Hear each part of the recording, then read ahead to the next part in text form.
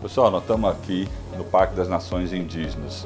Sabe aquela obra que tem bem no meio do parque? Ela está abandonada, né? Está toda pichada, está deteriorada, sem janela, sem vidro. E agora a gente vai lançar aqui uma restauração completa desse equipamento. A Sanesul está adotando essa estrutura, vai fazer um museu interativo, aqui vai ter uma cafeteria, vai ser um espaço cultural, onde vai contar um pouquinho a história das águas, da própria Sanesul, diretoria ambiental da Sanesul vai estar aqui.